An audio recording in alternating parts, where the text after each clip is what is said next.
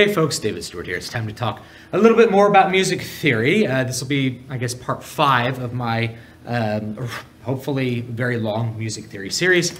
We're going to hop back into the math and we're going to talk about today intervals.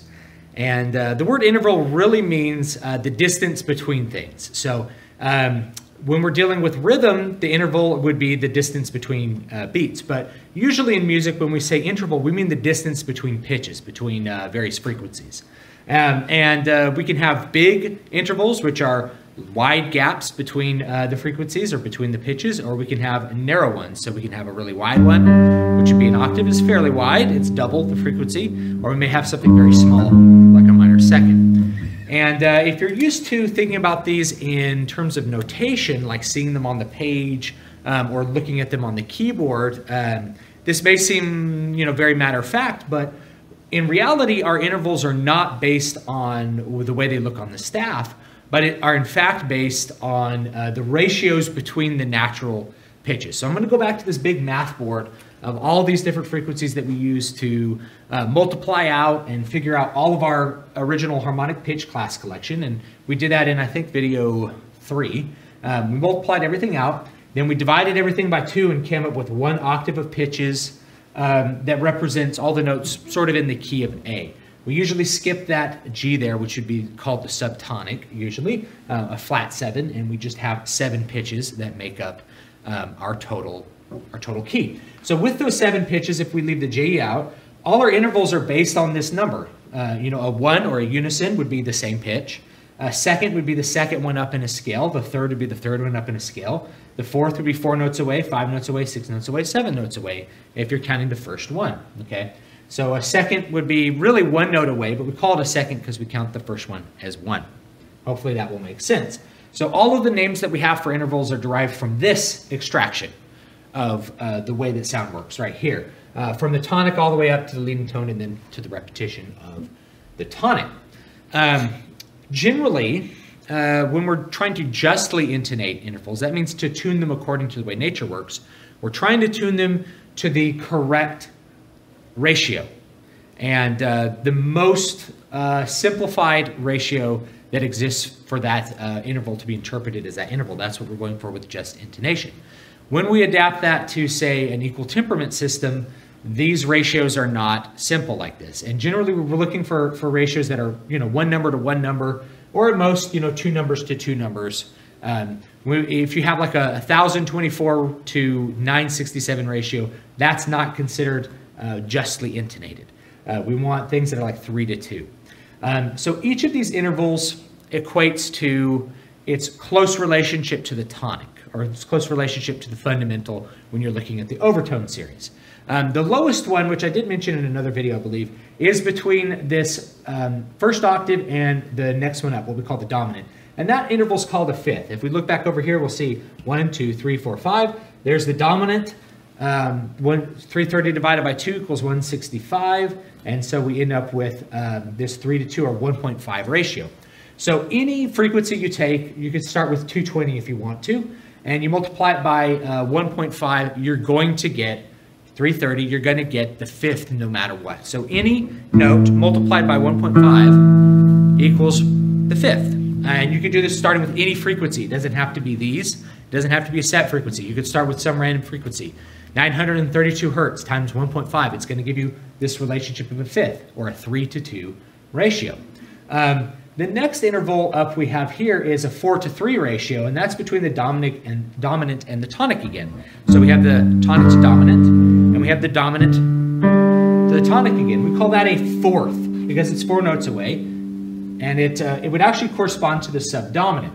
Now, the thing about this right away that you have to know when you're dealing with justly intonated, intonated intervals is that the ratio between the dominant and the tonic, even though it's four notes away, one, two, three, four notes away. Remember, we're skipping that G. So one, two, three, I'm sorry, starting with the dominant. One, two, three. Start over again at one, four. You imagine 220 up there, that'd be the tonic. That fourth is actually different than the fourth that appears over here. So the 1210 to 880 ratio, if you guys plot your calculators and figure that out, is uh, I don't think it lines up to 4 to 3. This 1.33 repeating or this 1 in a third uh, ratio, that's a fourth, that only really applies from here to here. We end up with, if we're doing just a purely harmonic pitch collection, we end up with a different fourth from A to D. Uh, and that's a very curious thing when we're dealing with justly intonated intervals. When we talk about tuning systems, that creates other problems because if you tune everything based on a fifth, eventually you come back around to the first note and there's not a fifth there. It ends up being what's called a wolf fifth. Uh, you have to shrink the final fifth and when you're revolving around the keys, tuning things in fifths, because otherwise they won't line up again. And that fifth sounds very out of tune and kind of weird when you hear it in context um, with early music, Baroque and Renaissance music. Kind of an interesting thing. As we keep going up, we get a five to four. Notice the further away we get from the tonic, measuring this, the more complex or the more, yeah, I like to say the, the less simple the ratio gets, the, the, the more we're gonna get more decimals and stuff. So this five to four, that's called a third, and that's a 1.25 ratio. Now this one, six to five, is also a third, and we call that a minor third. They're two different thirds that have different qualities. A major third um, has a quality like that. A minor third has a quality like that. A little bit different quality because the ratio is different, and we can hear that harmonically, that those are two different things. Um, and if we look at this right here, this A, this mediant, and this dominant, that's actually an A C sharp E, which is the which is an A major chord. And so any major chord, therefore, is a third, one, two, three, and a minor third, one, two, three. Okay, so C sharp to E. Um, so we have a major third stacked on top of a minor third. Any major third, if we, or anytime we put a minor third on top of a major third, it makes a major major chord, always. Um, so that's an interesting thing that we could point out. This six to five on top of a five to four will always produce a major chord, um, pretty much no matter what. So we have a major third here and a minor third here We can put that anywhere we want. Make a C sharp, C sharp major chord right there. Uh, anywhere you want. That relationship will always remain the same and will always produce that same thing. So the intervals that we figured out thus far are um, the perfect fifth, which is 1.5, and I'm going to use decimals because it's easy to see the decimals grow.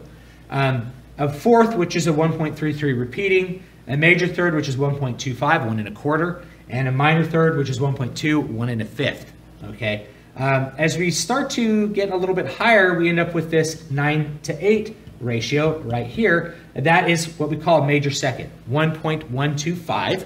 That's a major second that occurs between the tonic and the supertonic.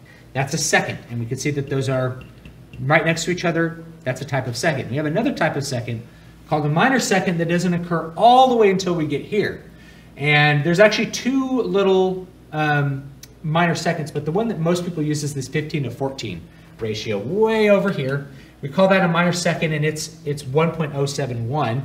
And we can see that 1.071 doesn't look very harmonious, and so it's not. We end up with a, a very um, dissonant sound there because those two pitches, when they're close together like that, they have to be multiplied so many times to reach a harmonious overtone uh, that it ends up sounding dissonant and tense and out of tune and those sorts of things. Um, so that's our minor second, and those are both of those notes would be one note away from each other.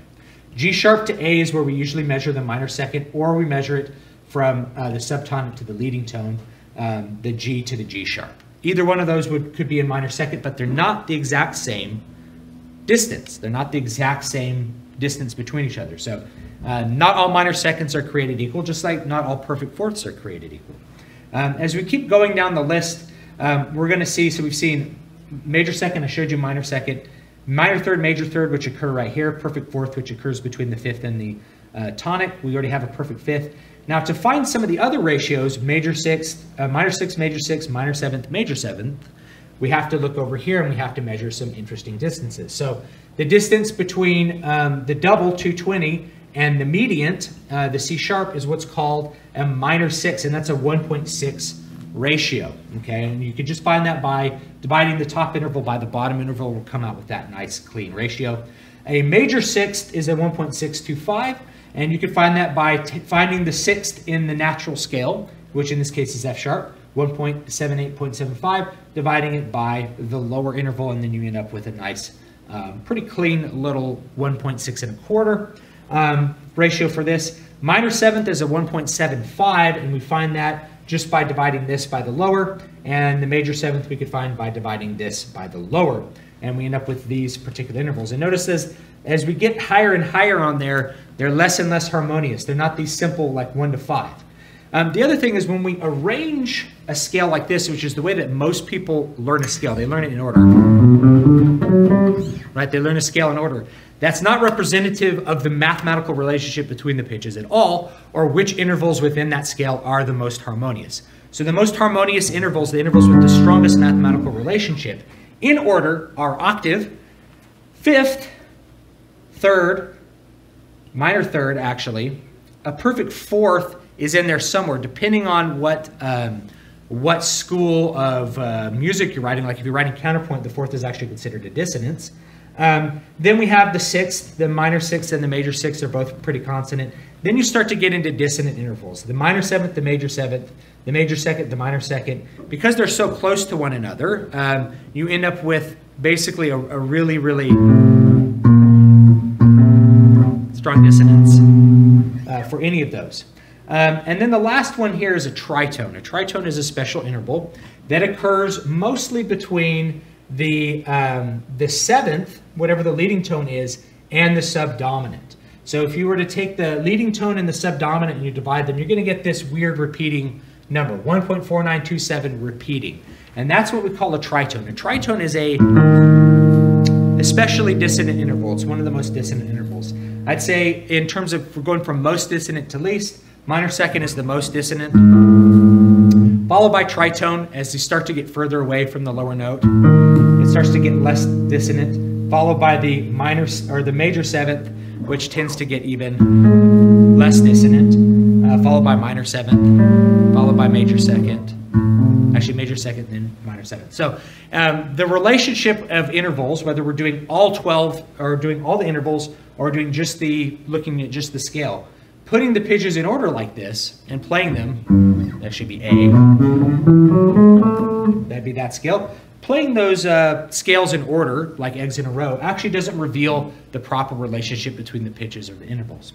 Um, so this is what we call justly intonated intervals. If you want to know how equal tempered intervals work, the goal of an equal tempered interval, um, so tempering the intervals means you're going to alter the intervals from this mathematical perfect way um, in order to make the things in whole in tune. This is a really important idea for keyboard instruments like piano, harpsichord, clavichord, organ, things like that, that you have to figure out how you're going to temper particular intervals, such as the third and the fifth, in order to produce um, overall, uh, you know, avoid things like those wolf fifths I mentioned and, and avoid um, particularly out of tune intervals because, you know, the fourth, there's different kinds of fourths. The fourth from the dominant to the tonic is different from the fourth from the, the tonic to the subdominant. Um, they're, they're different sizes. So when you're trying to sort of manage all those, you start introducing what's called different forms of temperament.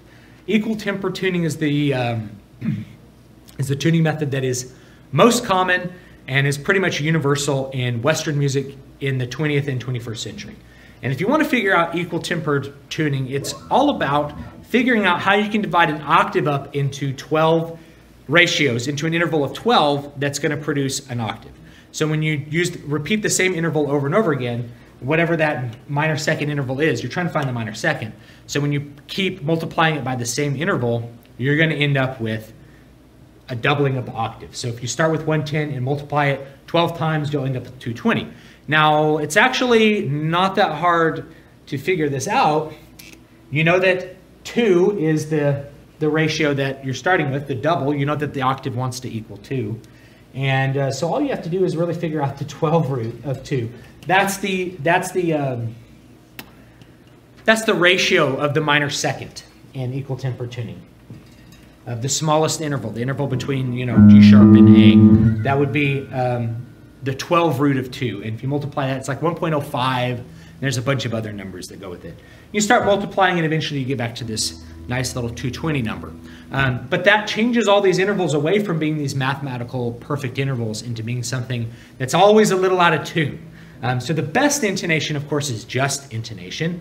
And this can occur whether you're using this the same tuned pitch collection or you're adjusting the intervals on the fly.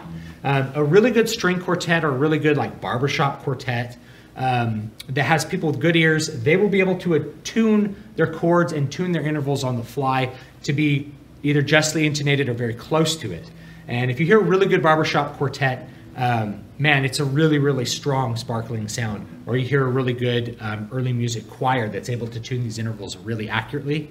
It, it does produce, for me, a much better effect than hearing those things in an equal tempered sort of sound. Um, so I hope this has been informative for you. And um, please don't forget to like, comment, and subscribe and tell me what you want to see and what you want to hear. Relevant links will be in the description box for my books and my music if you're interested in um, supporting me by buying some of those. I do appreciate it. And uh, I will see you guys next time.